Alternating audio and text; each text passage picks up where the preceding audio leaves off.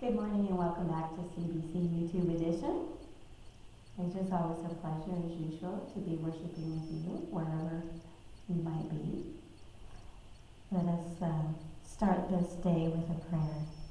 Father, we come to you in praise and worship with all our hearts, our desires, and our sorrows. We ask that you touch each and every one of us, that we might be healed or consoled. In the name of Jesus. Amen. Our first song is going to be from the hymn book 376 if you have one at home.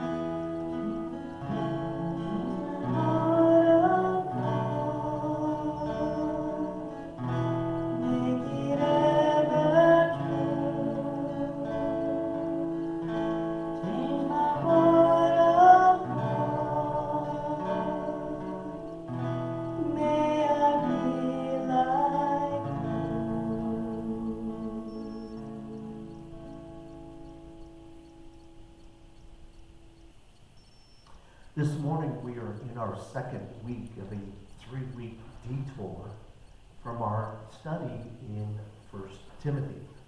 And if you haven't done so already, I strongly urge you to either read, listen, or watch via our website the message from last Sunday. But once again this morning, I invite you to open up your Bibles to the Old Testament book of First Samuel. It is the ninth book of the Bible. And as I shared last Sunday, 1 Samuel is a book of history. Generally speaking, the history of the Jews, but specifically the history of three main characters. The history of Samuel, of King Saul, and of King David. Now, the book covers a period of 94 years from the birth of Samuel until the death of King Saul. So that we understand the context, 1 Samuel chapter 1 focuses on the birth of Samuel. Hannah, the soon-to-be mother of Samuel, she pours out her heart to the Lord regarding the fact that she is without children. And as the story unfolds, God graciously hears and answers her prayer. In fact, the name Samuel means asked of God. Now, after being weaned, we're told that Samuel is brought yearly back to celebrate that uh, answer of her prayer, brought back to the tabernacle. In 1 Samuel chapter 2, it begins with a beautiful prayer of Hannah, very similar to the prayer of Mary, the mother of Jesus, in Luke chapter 1. And Hannah, in fulfillment of her vow to God, surrenders her son to the service of the Lord under the care of the priest Eli. Now, although Eli's sons are wicked and disobedient to their calling, chapter 2 records Samuel's physical and spiritual growth. And the chapter concludes with the man of God coming and speaking a prophecy to the priest Eli. It is a prophecy of judgment, judgment against Eli and his family, but it is also a prophecy of hope, of hope for the nation of Israel. Last Sunday, our focus was on 1 Samuel chapter 3, verses 1 through 10. And those 10 verses cover four calls of God and one request from Samuel. Four calls. The first is in verses 1 through 5. The second, verses 6 and 7. The third in verses 8 and 9. And the fourth and final call of God is found in verse 10. But there's also one request, one life-altering, life-changing request from Samuel. He says in verse 10 of chapter 3, Speak, for thy servant heareth. Other translations say, Speak, for thy servant is listening. And in that brief prayer, we have such uh, fullness and completeness. We have the word speak, not a command, but a request. We have the word servant, speaking of the relationship between the two. And we have that word heareth, which, as I shared last Sunday, means to, to hear, to listen with the intention of responding. And so in this brief prayer, we have a request, we have a relationship, and a response. This morning we want to look at the rest of the chapter, verses 11 through 21. Now, let me outline those verses. In verses 11 through 14, we have the message delivered by God. Verses 15 through 18, the message conveyed through Samuel. And then finally, in verses 19 through 21, the messenger honored by God. And so the message delivered by God, the message conveyed through Samuel, and the messenger honored by God. Let's turn our attention to 1 Samuel chapter 3, verse 11. And the Lord said to Samuel, so verse 10, Samuel's request, speak for your servant hear it, speak for your servant is listening. And so that's exactly what God, God does. Verse 11. And the Lord said to Samuel, Behold, I will do a thing in Israel, in which both the ears of everyone that heareth shall tingle. Now, the King James doesn't do justice to what God is saying here. So shocking would this message be, this message against Eli and his family, that as one author describes, it would cause the ears of the people to ring like hammer blows on a bell. It's not this quiet tingling of a little bell, but rather such a shocking announcement as if hammer blows were on that same bell. He says, I'm going to do a work. He says, in verse 12, In that day I will perform against Eli all things which I have spoken concerning his house. To what is he referencing? The prophecy for the man of God in chapter 2, verses 27 through 34. And why? Verse 13. For I told him that I will judge his house forever for the iniquity which he knoweth, because his sons made themselves vile, and he restrained them not. Where it says his sons made themselves vile, literally his sons blasphemed God. Now, according to the Levitical law, Leviticus chapter 24, his sons should have been stoned to death because of their behavior. And then at the end of that same verse, and because he, Eli, restrained them not. Now let's be careful how we interpret and apply this particular phrase. Eli's sons were completely responsible for their own behavior. But Eli, as the priest and as their father, he knew the word of the Lord, and he should have intervened when he watched his sons blaspheme God, especially because they were in violation of their calling. Now, so serious is this, note verse 14. And therefore I have sworn unto the house of Eli that the iniquity, the sin, the rebellion of Eli's house shall not be purged with sacrifice nor offering forever. Now, what is he saying here? Well, let me quote one author. He says Eli's family was apparently guilty of presumptuous sin. For such defiant sin, there was no atonement. There was no amends. There was no forgiveness possible. And that the death penalty could be immediately applied according to Numbers chapter 15. Think about this. The fact that they were so vile in their uh, blaspheming God, there would be no possibility for forgiveness.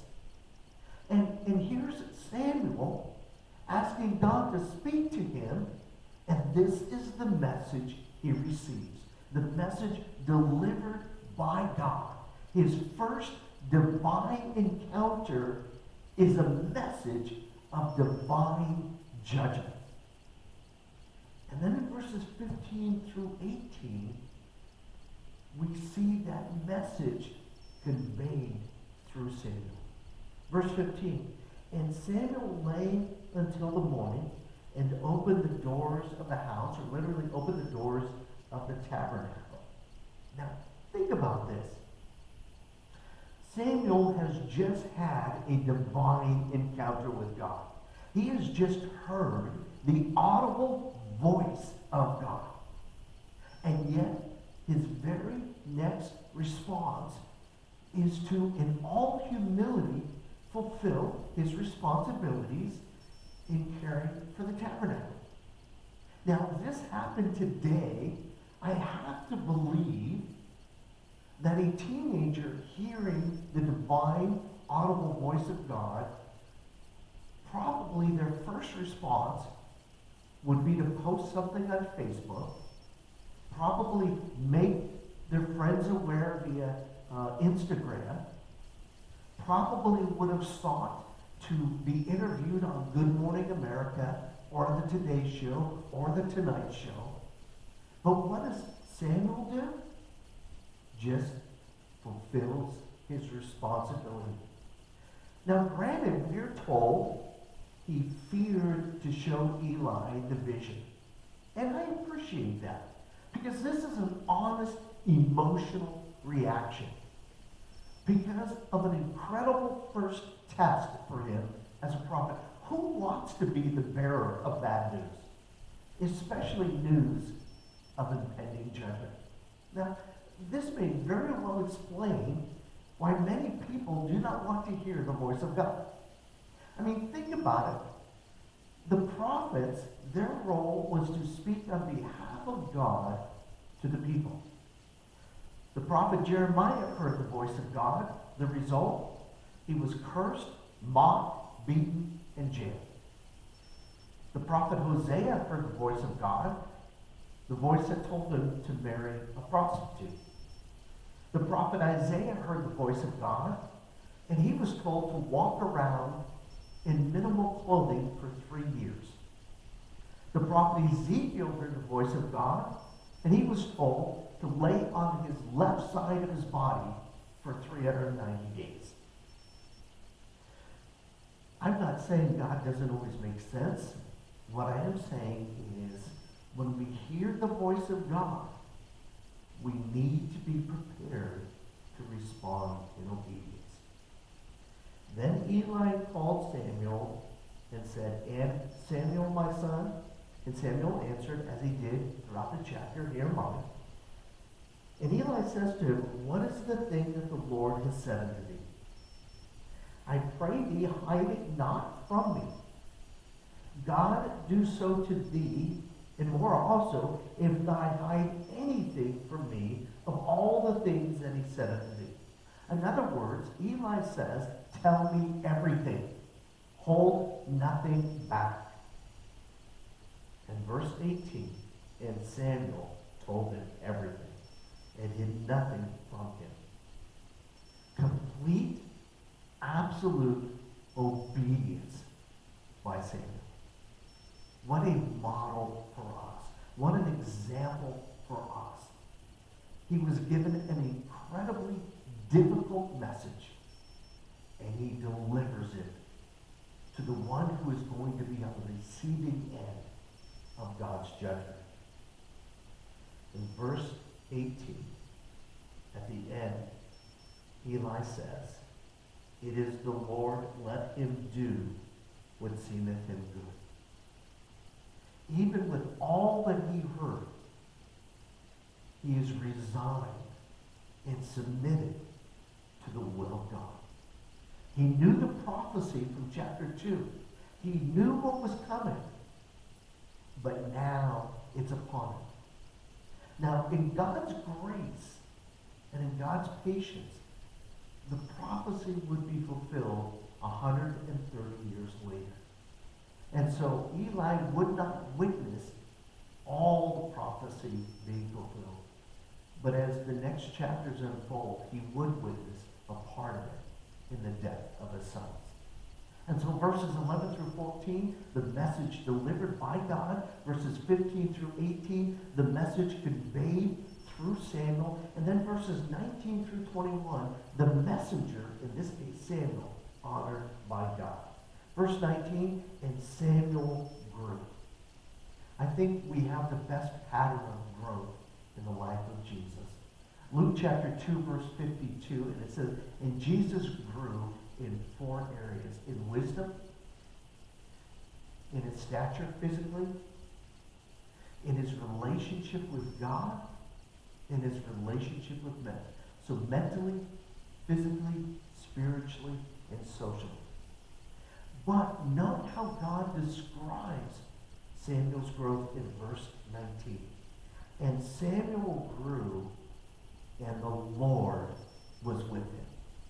Now, this phrase, the Lord was with him, that's a whole sermon in and of itself. It speaks of the divine presence of God. It is a unique experience of those in the Old Testament. In fact, if we back up to Genesis chapter 39, Genesis chapter 39, we're in the midst of the life of Joseph. Genesis chapter 39, verse 2. And the Lord was with Joseph. Verse 3.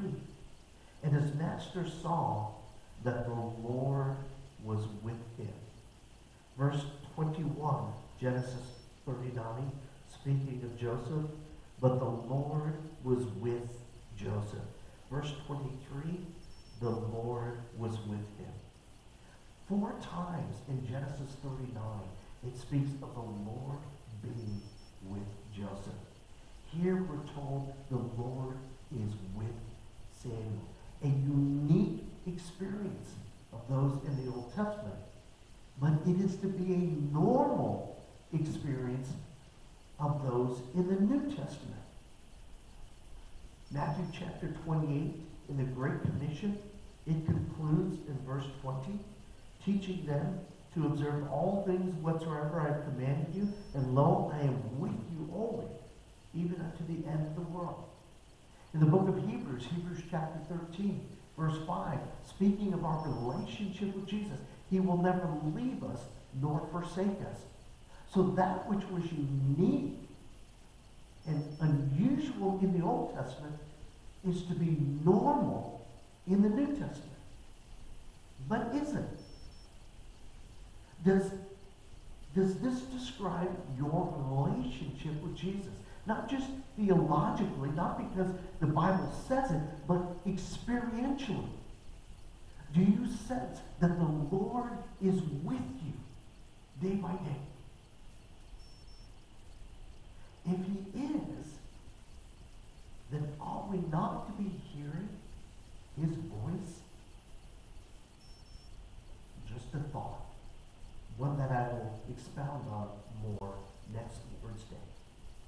Back to our text, 1 Samuel chapter 3, verse 19. And Samuel grew, and the Lord was with him, and did let none of his words fall to the ground. The test of a prophet of God is simply this 100% accuracy, not 99%.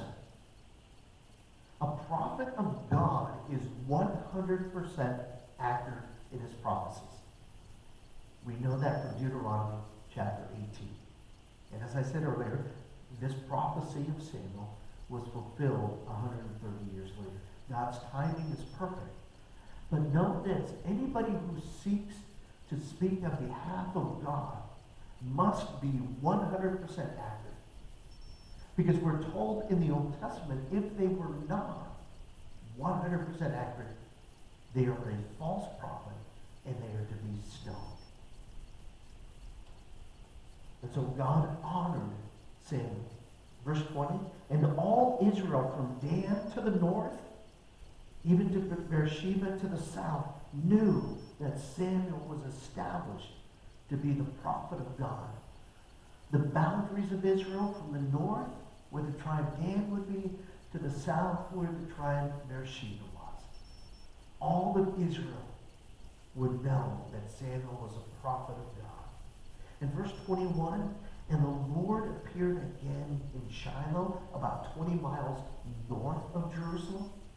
Now, this is not just about geography, but this is a lesson for us to know that God is not limited by time or space when it comes to making himself real to us, from his voice being heard by us. Yes, can God speak to us on a Sunday morning in a beautiful sanctuary? Absolutely. But God can speak to you in your living room. God can speak to you in your car on the way to work. God can speak to you while you're at the park watching your kids. Never limit where or when God wants to speak to. So he appeared unto him in Shiloh, for the Lord revealed himself to Samuel in Shiloh by the word of the Lord. This word revealed means to manifest himself. Listen to what Jesus says in John chapter 14. He that keeps my commandments, or he that has my commandments and keeps them, he is that loveth me, and he that loveth me shall be loved of my Father. So this is about obedience. And I will love him, and I will manifest myself to him. I will reveal myself to him. Based upon what? Our obedience. The Lord revealed himself to Samuel in Shiloh based upon what? Samuel's obedience. And so in these last verses, verses 19 through 21, we have the prophet honored by God. Now, I don't want to give you too much from one chapter, but I can't help but share three lessons from Pastor Warren Wiersbe uh, before I get into my particular application of this. Pastor Wiersbe says three things. Do not underestimate the power of prayer in a family. We see that in Hannah and in Samuel. He says, do not underestimate the power of sin in a family. We see that sadly in the life of Eli. And he says to us, God speaks to the young, Samuel, and to the old, Eli. So, three lessons from Pastor Warren Wiersbe. Now, as I reflect upon Samuel's request in chapter 3, verse 10, and what happens following this prayer, I'm reminded of the words of the Apostle Paul. Paul says in Galatians chapter 6, verses 7 and 8, For whatsoever man soweth, that shall he also reap. For he that sows to the flesh shall of the flesh reap corruption, but he that sows to the Spirit shall of the Spirit reap life everlasting. The biblical principle of sowing and reaping. It is the idea of cause and effect. Now, with that biblical principle of sowing and reaping, let's look at this story again, and let me outline it this way. Verse 10, God calls. Verse 10, Samuel prays. Verse 11, God speaks. Verse 18, Samuel obeys. Verse 19, God honors. That's a simple way of looking at this chapter. And I can even simplify it further. Verse 10, prayer. Verse 18, obedience. Verse 19, presence. The presence of God. How's that for simplifying this incredible chapter? But, and as I shared last Sunday, it requires three things from us. First of all, it requires desire. Do we have a desire to hear the voice of God? Second of all, it requires discernment. Jesus said in John chapter 10, My sheep hear my voice. Do we, uh, do we discern the voice of God above all other voices? Desire, discernment, and thirdly, discipline. Jesus said, If you love me, obey my commands. So, where do we go from here? Well, next Lord's Day, I want to bring this brief series to a close about hearing the voice of God. Now, at the risk of being repetitive, I want to continue to challenge you to pray the prayer of Samuel. To pray the prayer, speak, for your servant heareth. Now, this was David's pattern in Psalm chapter 5. He says, My voice, David says to the Lord, My voice shalt thou hear in the morning. And so I challenged you last week to pray this prayer daily. I'm going to up that challenge.